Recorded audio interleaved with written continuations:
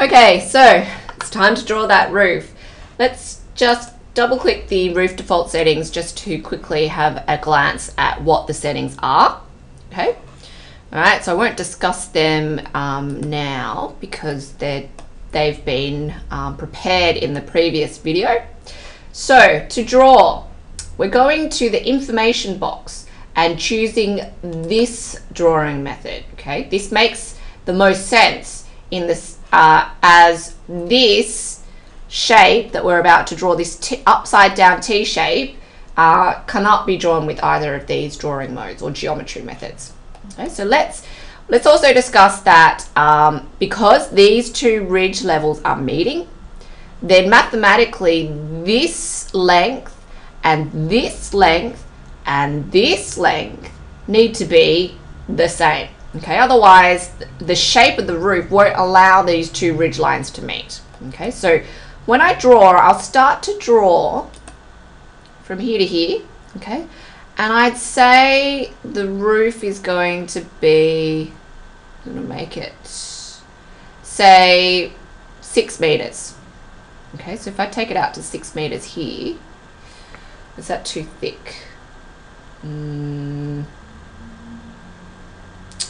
let's see. No, I think six meters. It's going to look a little exaggerated, but just looking at the shape, it's a bit difficult for me to really see because, of course, this um, Google map is not a true plan view, it's a plan perspective, okay? Because I can see the sides of the buildings, when in a true view, plan view, I wouldn't be able to, okay? So even if this is a little big, it doesn't really matter, okay? So I'm going to go tab, 6000, and then enter, okay? And then I'm going to come down to say here, okay, so I'm meeting it at the ridge line there, base of the ridge line where the valley, sorry, where the valley line is. And then I'm going to come to say three five hundred. Okay, tab three five hundred, enter. And then I'm going to come down here and make that, oops. Uh, I'm going to make that say 6,000 again, enter. Okay, and then going to make this, actually this is looking a bit big, isn't it? Mm.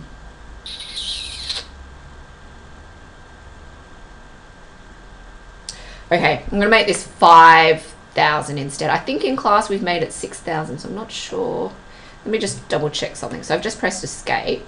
Take the measure tool and measure from here to here. Yeah, that looks that looks right.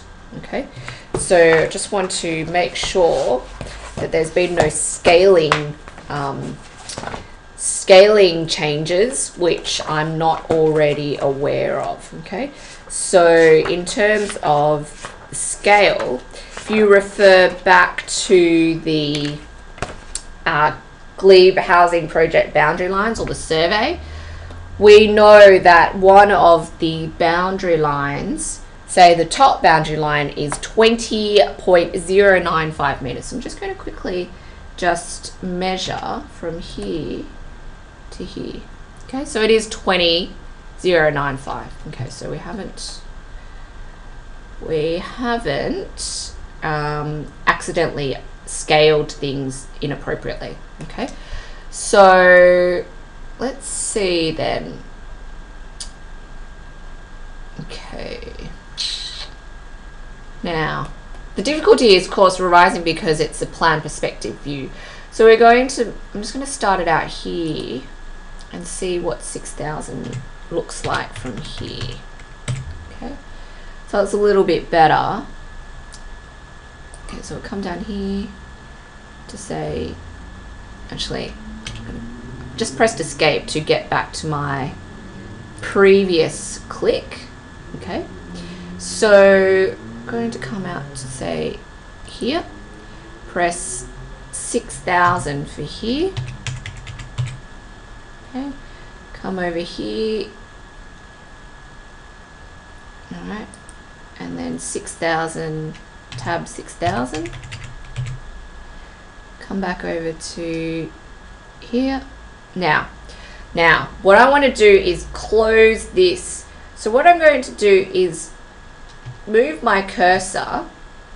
Well, I'm going to want to close this so that the this point is aligned here. But actually, when I'm down here, I don't know where this point. I'd like. What I'd really like is a, a vertical line that runs all the way down here, so I know exactly where to stop this click.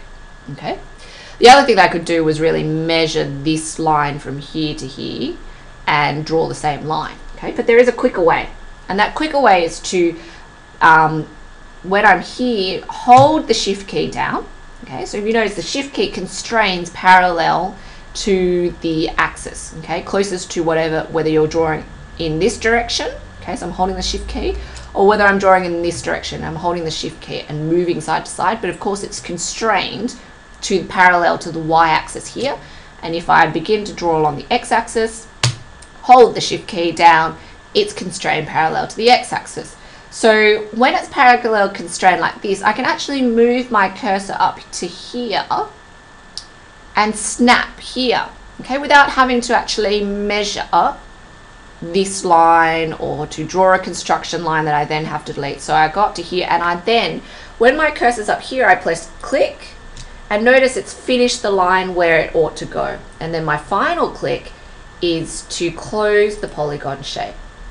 Okay, so if you notice what's happened now is that the shape has automatically generated for you.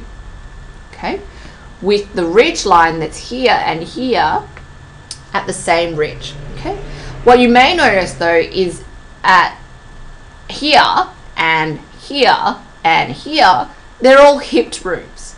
But these are gabled roofs, as you can see from the image. Okay, so we're going to have to attend to that in a moment. But I'll just highlight the roof and press F5 just to show you what it looks like in 3D.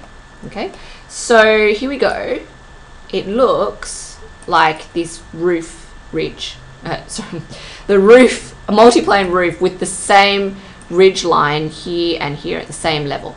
Okay, so what we're going to do is to attend to fixing the hip roofs into gable roofs on all three um, ends. Okay, so what you need to do is you need to click on the um, node, okay, and then just look at this little button. It's got stretch horizontal ridge. So all you have to do is click on this button and then stretch it out so that it is snapped. See how my cursor's changed to a tick mark? Snap to here. Okay, and bingo, it's been changed from a hipped roof to a gable roof. Okay, so you need to do the same thing here. Okay, so zoom in a bit. Don't be afraid to zoom in. So click there and then uh, click from here to here. Okay, great. So this then is um, now a gable roof on all sides. So if I press F5, then you can see how that's changed. Okay, great. So in the next video, what we'll do is look at this roof.